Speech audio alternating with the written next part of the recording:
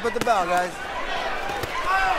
From General Santos City, Philippines,